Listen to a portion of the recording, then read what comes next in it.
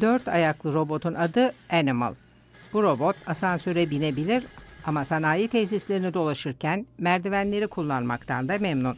So the big advantage of four-legged systems is that we can go Dört ayaklı sistemlerin en büyük avantajı bir taraf üzerinde sabit ve dengeli durabilmesi. Robot her zaman dengeli, bütün motorları kapatsanız bile yere düşmüyor. Bu da iyi tanımadığınız bir arazide robotun karşısına çıkabilecek engelleri kolayca aşmasına yardımcı oluyor.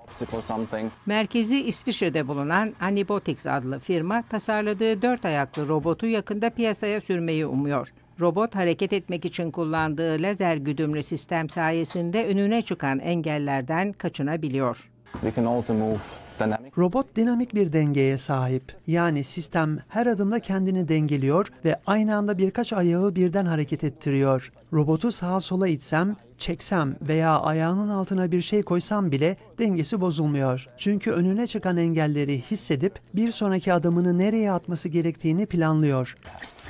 Gaz tespit alıcılarına sahip Animal, petrol ve doğalgaz tesislerinde veya madenlerdeki çalışmalar için çok uygun.